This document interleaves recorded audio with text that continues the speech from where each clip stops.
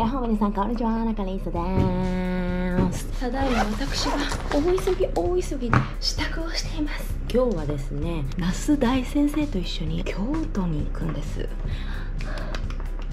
女子旅みたいな感じでですね。そうだ京都に行こうみたいなさ。ああいうノリでね今からね京都に行くわけ。だからとりあえずね今ね大急ぎで支度をしています。動画をね撮ってる場合じゃないんじゃないかっていうぐらいね本当にねちょっと待って。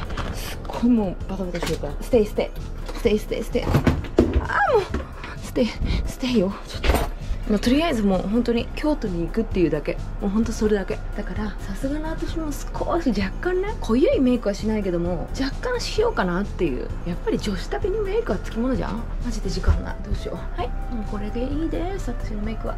はい。ちょっと追いすぎます。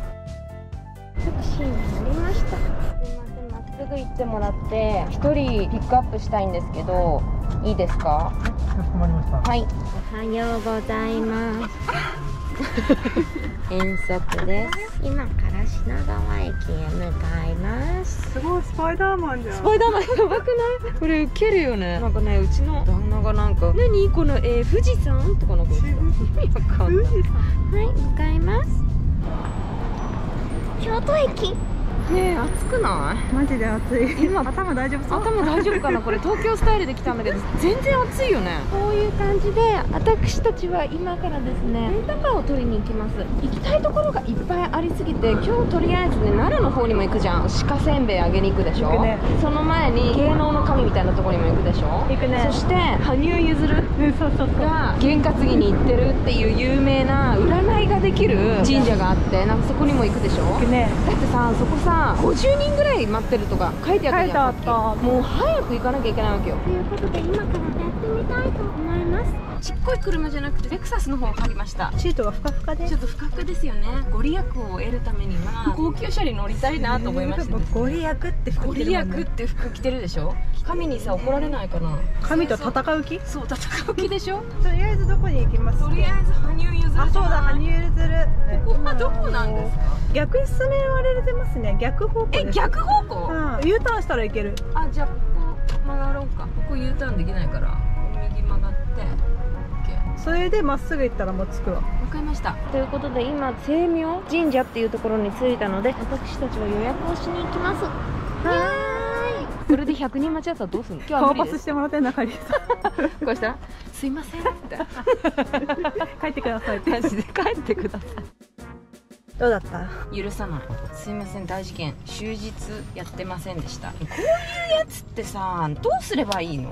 だって SNS もやってくれないじゃん SNS もやってくれない。あのインターネットの情報何年前のやつ？ねえ何かあった？ね爆買いしてるからまた。見て。魔除けラムネってやつがあったわけ。もうこれを食べたらさ今から絶対さ私たちいろいろ巡るからさパワーがさみなぎりそうじゃない？確かに食っとかなきゃかも。しかも結構映えだったんだよね。可愛かったよね。ねえ私たちさ爪が長いから開かないのねこれ。えこれ全然開かない。いやそれ。iPhone のやつで開くかなあかんちょっと待って。壊れちゃうアップルからクレーム来ます。待ってだってさます本当にさ開かないんだもん。那須ちゃんも開けれないでしょ爪があれだから。へえ。もう魔除けラムネも食べさせてもらえない。1個食べよう。どうぞ。はあ見てみんな。すごいカラフルじゃない？これを食べてね魔除け。映映えじゃんほら。えだよ。魔除け出ますか？もう待ってプリンがじゃんね。こいつもラムネみたいな感じになってる。プリンがじゃん美味しいの一口食べよう。いきます。この星型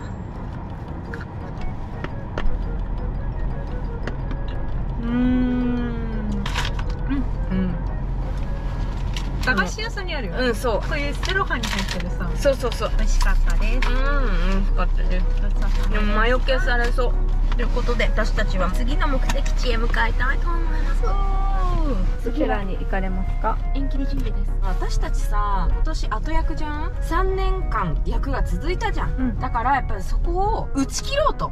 役はもう今年で終わりだぞみたいな感じでさ。そうよ。うちらの時代来るから。そうですよ。そのために私たちは今からね縁切りに行ってまた縁結びにやりいい縁がありますようにということですよ。私たちの役年すごくなかった結構。コロナがさ激しかったじゃん。円安だし。ええ一番の大役なんだけどそれ。円は担ぐけど円はもう止まってほしいよね。止まってほしい。いい加減にして。円安。行ってきます 急がなきゃいけないからね今日。鹿にせんべいをあげるっていう使命もじゃあ時間ないのいつも通り。そうだよ。昨日だってさ普通にさ鹿センターのおばさんに電話してさ、うん。YouTube 撮りたいですってさうんうん「中リーサです」って言ったわけ、うん。そしたら「あはい、中リーサさん」みたいな感じでもう全然分かってないわけ。何回も「中リーサです女優の」って言ったんだけど「少々お待ちください」って言ってさ「てんてんてんてれれん」ってなるじゃん、うんあの保留で一回なんか私のことが分かるのかなぐらいの年齢の人が出てくるかなと思ったらまたそのおばさんで「あえっともう一度お名前いいですか? 」あの忘れたんかいと思って。だ死からぬで一生懸命さ説明して「ああ分かりました。全然いやいいですよ。だけどその照明とか」とか言われて「いや違う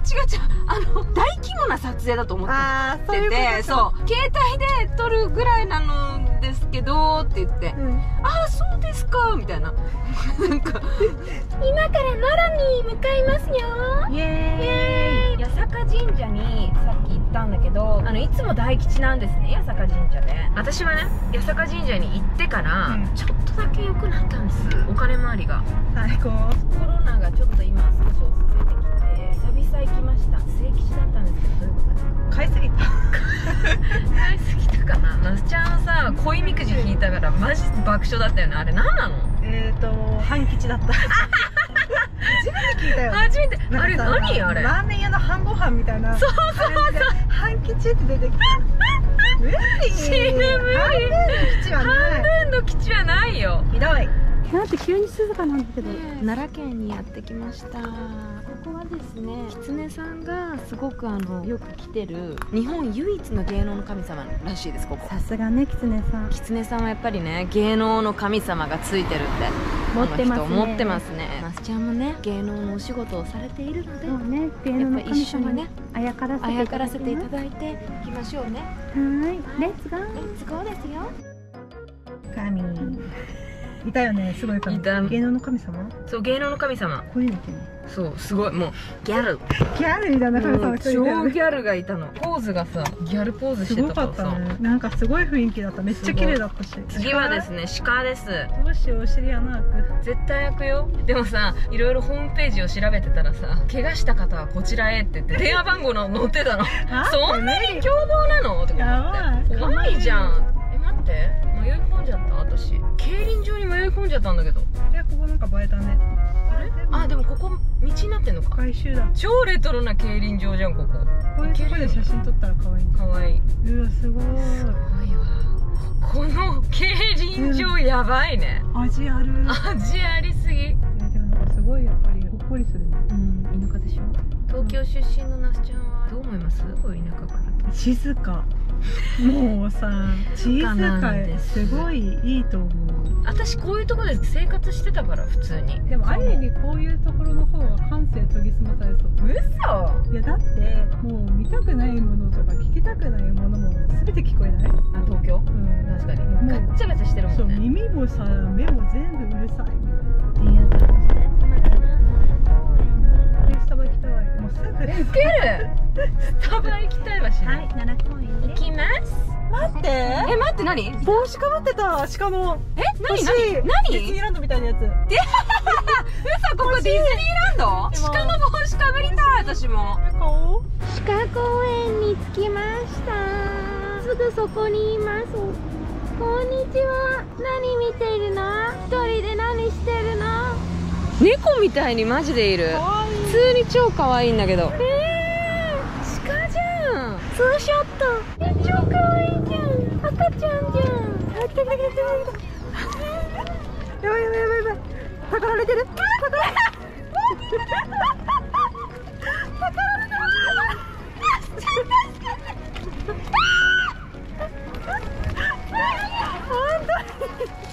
この女いっぱい持ってるぞ。ほら群がられて群がられて。鼻息やばい鼻息。鼻息やばい。ほら群がられて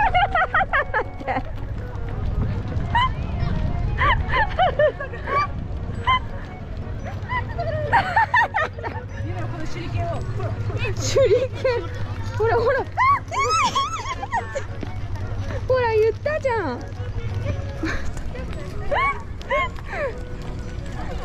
走ってるはいバトンだ無理無理無理やめてやめて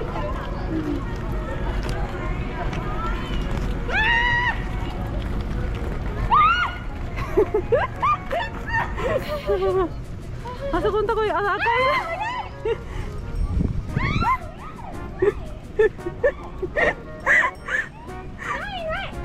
ど う。アトラクション。汗かいてまして。しかもキューキュー言ってんの。絶対うんこ踏んでる。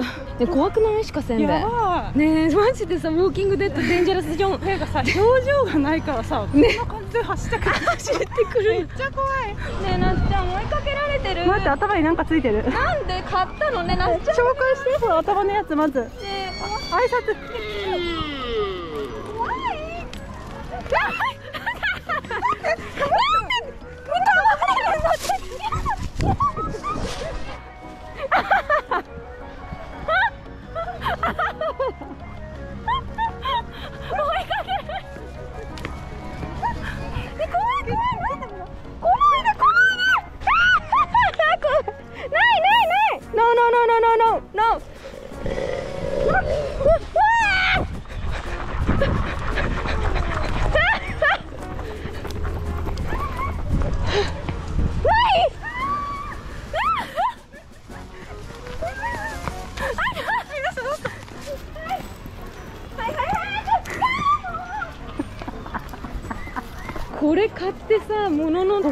けど疲れて帰ろうとしてるんだけど。結構怖いでしょ、マジ怖かった。怖かった。私は鹿の角はもうないのですがこちらの方はしっかりとつけてつけて。運転していただいております。さすがです。さすがですよね奈良愛がしっかり感じられます、はい。だって普通に仲間だと思われてたもん。うん。威嚇されたよね。それだシュー。見て。あーとか言って最後までマジでピーやばいよ。ギャーって言ってたよね。言ってたなんか超怖かったよね。急にベノムベノム感みたいになそう。うえーみたいな。